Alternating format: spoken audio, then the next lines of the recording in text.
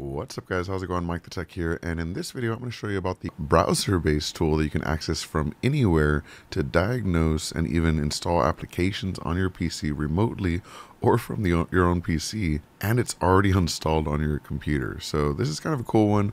Uh, it is on Windows 11, so I believe you'll need to be on Windows 11 to enable this, but um, I was really excited to see all of the features that are actually enabled here and the remote access is of course nice as well.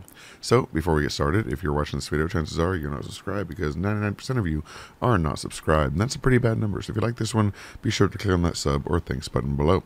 Speaking of thanks, huge shout out to Ms. Mo Davis and Tammy the Psychic. Thank you so much for being channel members. If you want to support the channel and get shout outs in videos like this, click on that join button below. So onto the video itself, we're looking at the Windows device portal and this is the performance tab.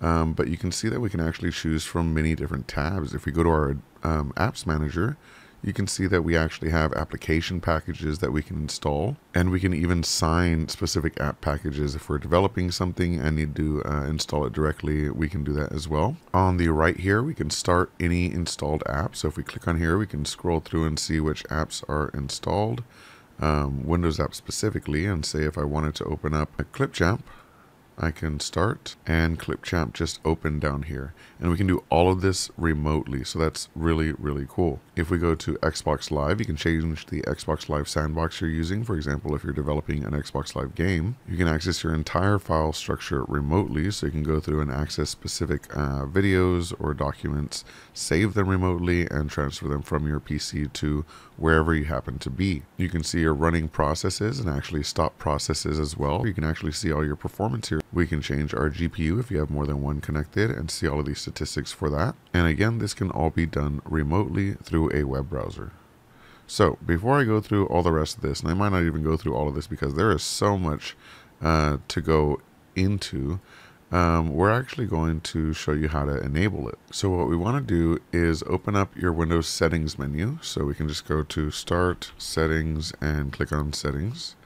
And once we're here, we're going to go to the System tab. Under System, we're going to go to For Developers. And under For Developers, we're going to choose Device Portal. Now, under Device Portal, you can actually choose an authentication method. So we want to turn this on and then edit to add a name and password.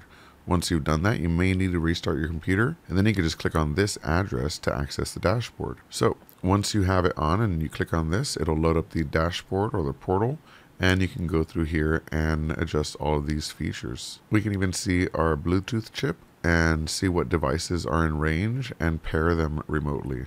There's just so much we can do within this portal. Um, it's super exciting to have a new development or analytics tool for Windows itself, a management tool, I guess you would call it. And um, usually this kind of stuff is only for the enterprise software versions. Um, so it's nice to see this coming out uh, as a default on Windows 11 it's just a developer option you can enable so that's it for this one if you have any questions or comments leave them in the comment section below and as always thank you so much for watching peace Unboxing kudos, we rock that sudo administrative elevator command. We build it up break it down in that virtual lab. From conversations to games to interviews with a broader view. He keeps it fresh, always brings something new.